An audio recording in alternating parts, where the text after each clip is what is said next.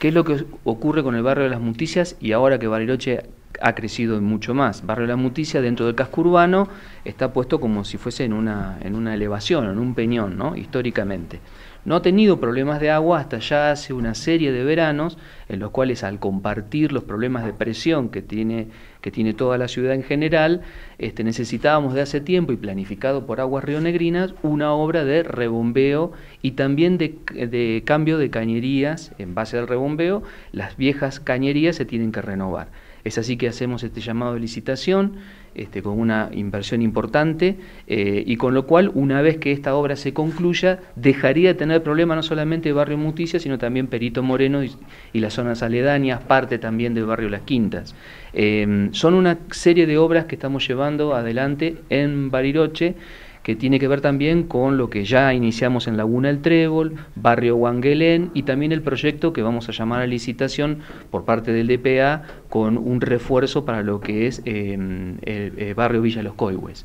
Este, Bariloche crece, ni hablar también lo que significa el, llevar el agua al este, pero nosotros estamos llevando barrio tras barrio, obra por obra, estas licitaciones y este y poder este bueno por sobre todo solucionar los problemas que tenemos de disponibilidad de agua. Ahora el rebombeo que se plantea para el barrio, ¿dónde se podría ubicar? En algún momento se había evaluado en la zona de la Plaza Jacinto Jiménez instalar allí un sector como para poder abastecer. Exacto, Mario, lo cambiamos y vamos a utilizar lo que es este el predio donde está la Junta Vecinal, que es un buen lugar porque después desde ahí prácticamente es el punto más elevado, si lo ubicás, este, y ahí se hace la redistribución.